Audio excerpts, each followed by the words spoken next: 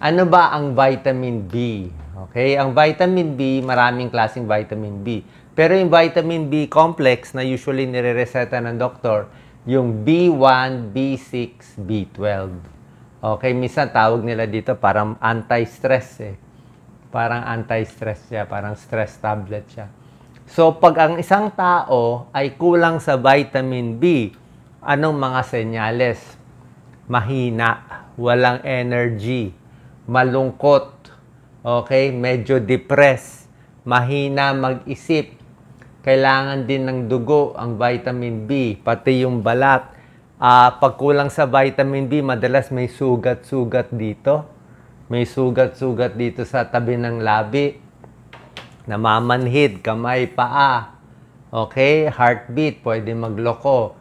So yan, oh. pag kulang ka sa vitamin B, pwedeng gaya, nagsusugat sa bibig. Okay? Pwedeng mood swings kaya yung mga nadidepress, binibigyan din ng vitamin B complex. Ayan, no? malungkot, yung mga sobrang stress sa trabaho, anemic, yung, di ba, lagi sinasabi para sa ugat, para sa nerves. O namamanhid kamay ko, namamanhid paa, may diabetes ng kakaedad, re-resetahan ng doktor, vitamin B complex.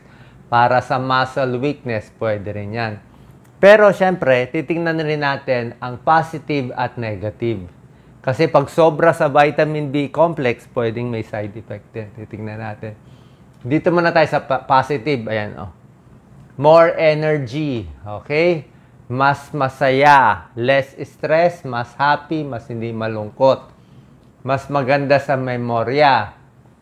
Maganda sa buhok. Maganda sa balat. Pampalakas ng immune system. Kasama vitamins ang C for immune system uh, vitamin B12 pang para sa red blood cell. So yan yung sinabi ko, 'di ba? Pag kulang, minsan nagdudugo, bleeding gums, depressed.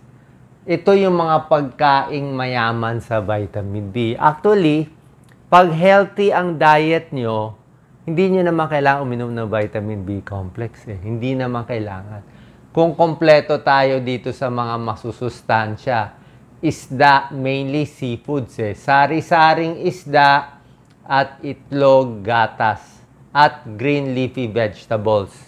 So, green leafy vegetables, sari-saring isda, itlog, gatas, yun mismo ang maraming vitamin B. Mura naman green leafy, di ba? Mura din naman ang, uh, ang itlog.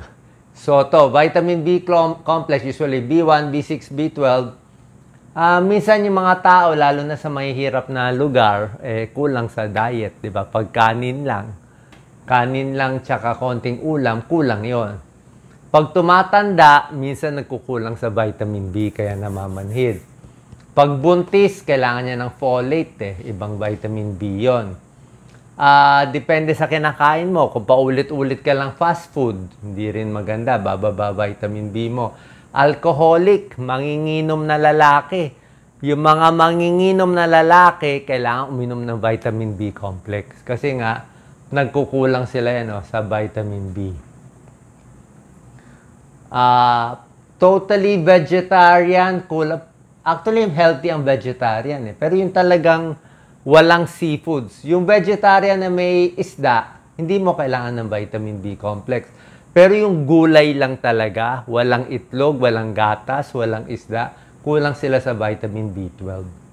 So, yung talagang totally vegan sila, binibigyan ng vitamin B12.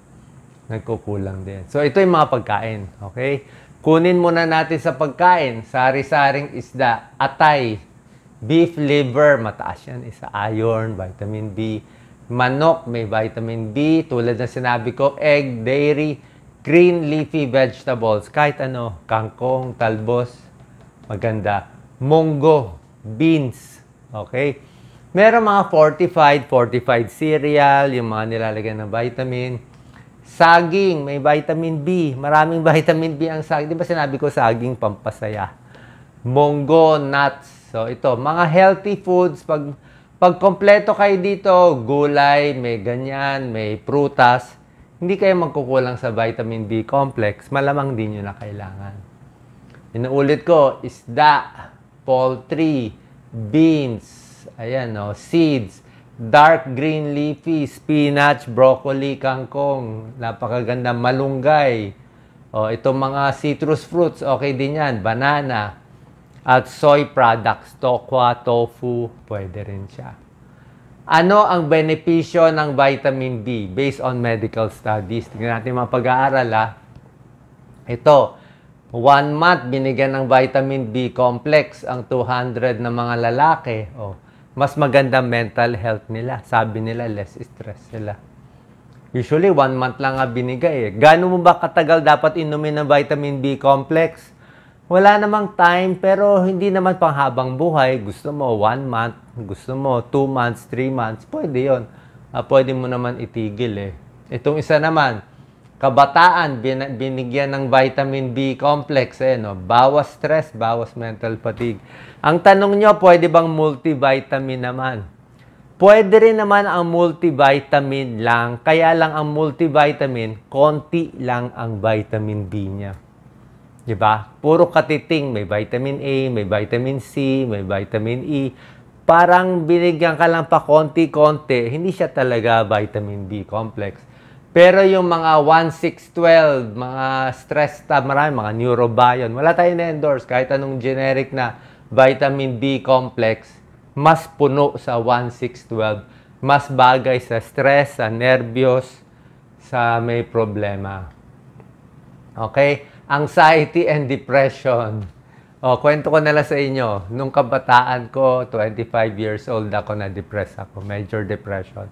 Binigyan ako antidepressant. Tapos yung doktor ko, dun sa Cavite, sa Lasal, binigyan niya ako vitamin B complex. Hindi ko pa alam para saan yun eh. Sabi niya, Doc, ah, hindi pa ako doc noon eh. Really, maganda yan, vitamin B complex. Okay yan, pampatulog. Hindi niya sinabi na depressed ka, nervous ka, stress ka, pero bagay sa'yo. So, yan, oh, maganda nga daw for anxiety, for depression, ang vitamin B. Ayan, oh. Pag may depress, vitamin B complex lang, oh, two months, less depression, mas masaya na. Di ba? Or, kung ayaw niya bigyan ng vitamin B complex, di ba pampasaya, yung sinabi ko, saging green leafy vegetables, yun na lang pampasaya, isda, pampasaya, prutas, gulay, pampasaya. Ayun, no, B-complex. Mura lang to. 'Di ba? Pag mababa ang level mo ng B12, B6, folate, ayun, no, mas depressed sila. Yan, no? Tapos pag naka-antidepressant, mas nakakatulong pa vitamin B complex. Isa lang ang malaking, malaking at matabang problema sa mga umiinom ng vitamin B complex. Ito yung pinaka side effect, tataba. Diba? Yan ang problema. So, pag stress ka, depressed ka, at mataba ka na, eh, pag-isipan natin. Kasi ang vitamin B complex, nakakagutom. Lagi kang gutom. Uh, na-experience ko yan. Yan ang sinabi ng doktor. Magugutom ka, baka tumaba ka 5 pounds. Kaya bagay ito sa alcoholic na payat, o sa may mga sugat-sugat dito na payat o malungkot at payat. Mas gusto mo yung payat pampataba, weight gain eh. May pag-aaral, pag nagbigyan ng vitamin B complex na mga tableta or capsule, tumataba. Kaya yung mga milk formula ng bata, ang daming vitamins, kaya ang taba ng mga baby. Eh. Biglang lumolobo yung baby sa dami ng vitamins sa gatas. Pag maraming vitamin B, tumataba at minsan nagkaka-diabetes pa. Dahil nga kain ng kain. So, ito yung side effect niya.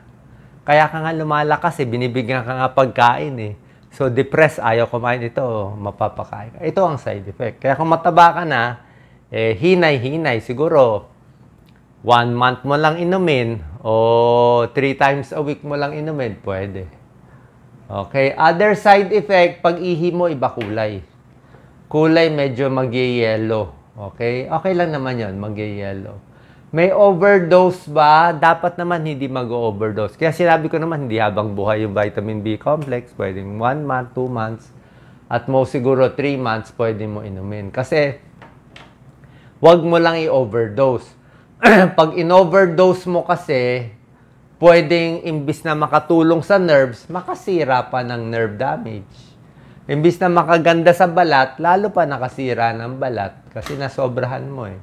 Lahat ng bagay pag sobra, vitamins pag sobra masama. Vitamin A sobra masama. Kasi ito kasi puro na siya, eh, pure na siya. eh. Sa pagkain, kahit sobrahan mo, okay lang eh. Hindi naman, hindi ka ma-over sa vitamin sa kakakain. Kasi kain lang mangyari, tataba ka lang, di ba? Pero ito nga, may side effect siya kasi nga, ano siya eh, pure siya na vitamin B. So yan ang possible side effect at na-overweight ka. Merong mga vitamin B sa pagkain tulad na sinabi ko, atay, green leafy vegetables, isda, monggo, talbos, lahat yan pwedeng pwede para sa'yo. Yan, ito yung mga list ng vitamins. Ito nga sinasabi ko sa yung toxicity.